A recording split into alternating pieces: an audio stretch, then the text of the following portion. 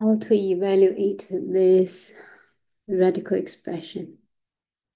We see these numbers 1997, 1998, 1999, 2000, that consecutive whole numbers. So let's just call this one 8. So let's do the algebra first, because whenever we deal with big numbers, we always want to simplify the algebra. Then, you know, we plug in back the numbers. So let's call 1998 A, then 1997, that's A minus 1. 1999, can we write A plus 1? Then this would be A plus 2. So now let's observe this. So we want to pair up those two and pair up those two. Because when we pair those up to these two, we multiply, we get a squared plus 8. Then when we multiply this one with this one, what do we get? We get a square plus a minus 2, right? Because minus 1 plus 2 give us middle term. So it's plus 1, 8.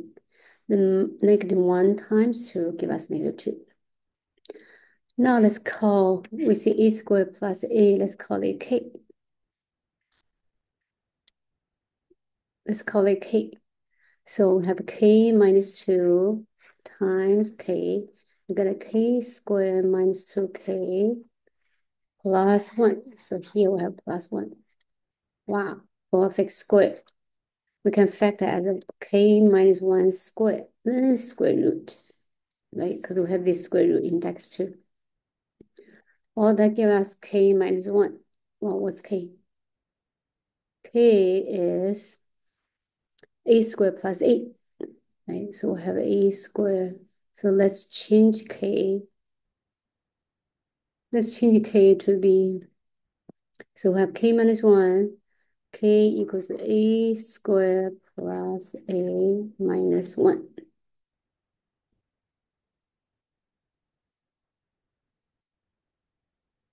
Okay, so now a equals 1998. Right, that's okay. Let's move up a little bit. So remember A equals 1998. So we just have to substitute this. We have 1998 squared plus 1990A minus 1. And if we want, we can use algebra to calculate it, or otherwise we can do this. This just give us 1997. Now we just have to calculate 1998 squared. If we don't want to use calculator, right, we can write this as 2000 minus 2 squared. We apply a perfect square formula, so we get 2000 squared minus 2 times 2000 times 2, then plus 4. Right. So first time give us 4 followed by 6 zeros. That's four meaning. Then minus this, 2 times 2 times 2, 8, 8,000. Then add back 4, right? But then, so what do we get from this number? So subtract 8,000. Subtract 8,000 from here. We get 3991 or 2. Thousand, right? because add back 8,000, we get a 4 million back. Then plus, plus is 4, plus is 1997.